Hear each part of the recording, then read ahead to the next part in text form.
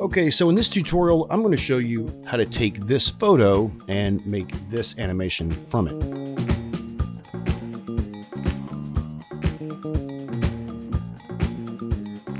Okay, let's create a new composition and we're just going to call this mountain. Okay, 1920 by 1080, 30 frames per second, and 10 seconds is good. I've got my mountain image right here, so let's go ahead and drag that in. And now if you right click on this image and go to transform fit comp to height, I have FX console. If you don't have that, I highly recommend that you get it. So I'm going to use that just because it's a lot quicker. It's a free download. I'll put a link in the description below. I'm looking for curves. First, I just want to kind of add a little bit of contrast to this to kind of get a look that is going to work. Duplicate this layer. We can take off the curves and then I want to add in a tint and then let's add in fast box blur. And I'm going to increase the fast box blur up to 400. So it's really, really blurred out. Actually, we'll put that curves back in, but we're going to make it a lot more contrasty and a lot more bright. So After Effects is going to use these hues of black and white to get the distortion that we need. Pre-compose that, and we're going to call this map. Okay, and we can turn that layer off. And so now I want to separate the foreground from the background. This is a trick I do quite a bit. First, let's go ahead and pre-compose this. We're going to call this mountain front. Okay, and we'll go into this pre-comp here. And so I want to use the entire image. So as you can see, it goes off camera. So I'm to pull up my settings here and the width, let's make this 3350. So I'm going to use a roto brush, but before I do that, hit N. We can bring our handle over. We want this to be a one frame comp here. Let's grab our roto brush, which is right here. Double click on our JPEG. First, let's just do a sweep across the whole thing. And just make sure you get all of these areas. So we want to cover this entire mountain range, some of these areas in here, and then you're going to want to zoom in if you're using this image. I got this image from Envato Elements, but you can use any image you'd like.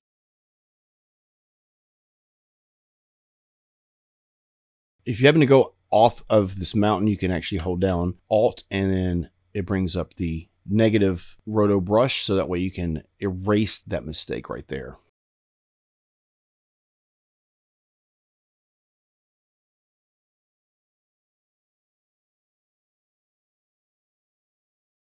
So this is our foreground. Let's go back out to our main comp.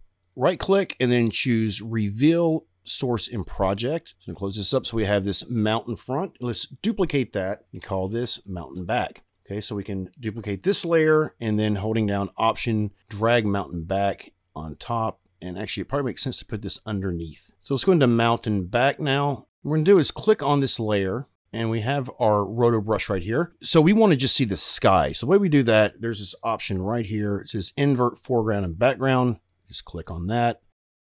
And so now we have our foreground and we have our background. Okay, so I want to move the sky. And if you pull up P for position, if you start to move it, you have this mask back there. Turn on our transparency.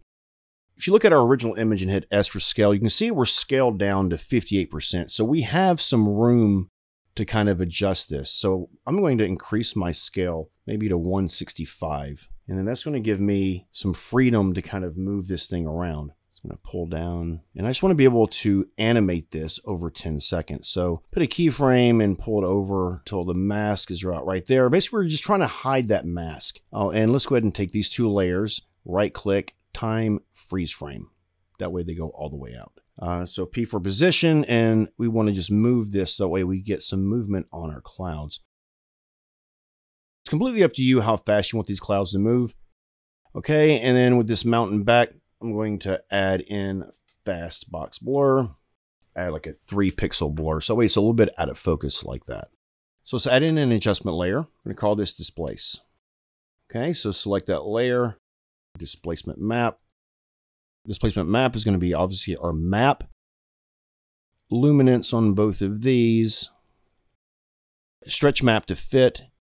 And then wrap pixels. This is where all the magic happens. So let's increase this horizontal displacement to 150. Put a keyframe on 150 and 5. Hit U to bring up our keyframes and then go to the very end. Make this horizontal, we'll say negative 200 now. Make our vertical 10. This is what's going to sell the 3D look. And you can already tell just by adding this already that we're getting a 3D look to this photograph. This can all be done right inside of After Effects, which is super cool. I'm going to decrease this for now down to quarter quality. Add in a new camera and then add in a new null object. We want actually everything to be 3D because we want even our displacement map and the map itself to move with the camera. And we're going to take this camera and parent it up to our null. Just call that cam control. I'm going to go ahead and start color coding these so it doesn't get too far out of hand. Bring up our position, put a keyframe right there at the beginning, go to the end, and let's move in about 400 pixels animate our rotation. So X and Y rotation will make Y 5, make X negative 3, go to the very end, Y negative 5, X 2. I'm also going to put a wiggle expression on position so that way it has a slight movement. Okay, so we watch that play back and we see we have something that looks even cooler. Did you notice at the very beginning that there was this space right here that's showing up? So let's go ahead and correct that hold down shift and S during up our scale. I'm going to put a keyframe there. And the way the camera control works, the sizing goes in the opposite direction. 95, she's still not quite there. We'll see 94. Go to the very end, scale 100.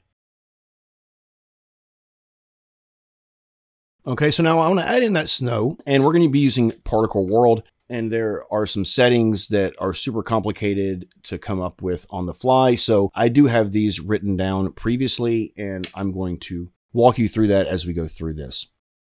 I always uncheck all this because it just gets in the way. So we want our birth rate to be 2, longevity to be 4. So open up our particle. Want the particle to be a faded sphere. Birth rate 0.5.